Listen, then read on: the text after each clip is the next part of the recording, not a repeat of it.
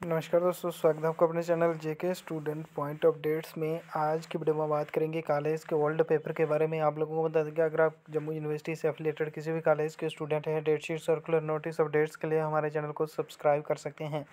आपको बता दें कि पुराने पेपर भी यहाँ पर अपलोड किए जाते हैं, जिसमें बच्चों की नॉर्मल हेल्प की जाती है। जो वीडियो कम से कम चार मिनट्स का रहेगा।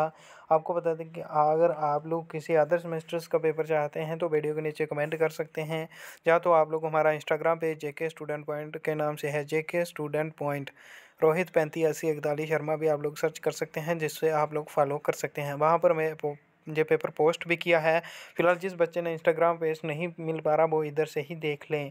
बाकी आप लोगों को बता जिसके पास भी, जिस कैंडिडेट्स के पास भी पुराने पेपर है, वो हमें इंस्टाग्राम पर सेंड कर सकते हैं। हम उनका नाम भी मैंशन करेंगे और साथ में हम वीडियोस डाल देंगे जैसे किसी न किसी कैंडिडेट्स की हेल्प हो सकती है, क्योंकि जम्मू यूनिवर्सिटी हमेशा बच्चों को फेल करती है।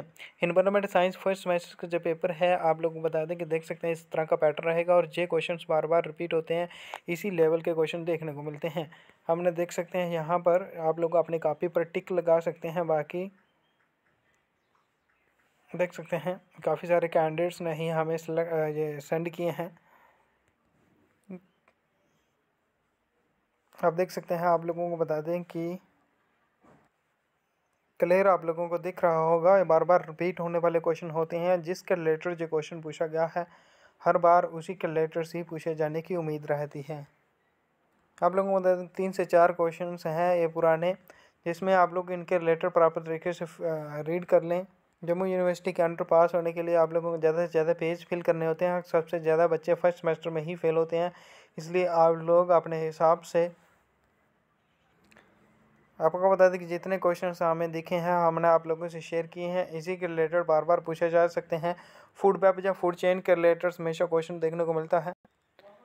देख सकते हैं आप लोग अपने हिसाब से। एकोसिस्टम्स बायोडाइवर्सिटी बाकी अपने हिसाब से आप लोगों को लेंथ ही करके लिखना है। All the best thanks for watching my channels आप लोगों को बता दें कि date sheet circle notice updates के लिए भी लगातार चैनल पर बने रहें। पुराना पेपर किसी भी कैंडिडेट्स के पास है तो हमें इंस्टाग्राम पर सेंड ज़रूर करें ताकि हम किसी न किसी कैंडिडेट्स की हेल्प कर सकें। आप लोगों को बता दें कि स्टडी के रिलेटेड इन्फॉर्मेशन किसी न किसी को देना काफ़ी अच्छा रहता है, क्योंकि अगर आप लोग स्टडी शेयर करेंगे तो आपको ज़्यादा आएगी। स्टडी के बिना कुछ नहीं है। आप लोगों को बता दें कि कॉलेज की पढ़ाई के बाद आप लोगों को कम्पिटेटिव एग्ज़ाम की तैयारी करनी पड़ेगी। बिना कम्पिटेटिव एग्ज़ाम पास किए यहाँ पर फ्यूचर नहीं है। All the best good night bye bye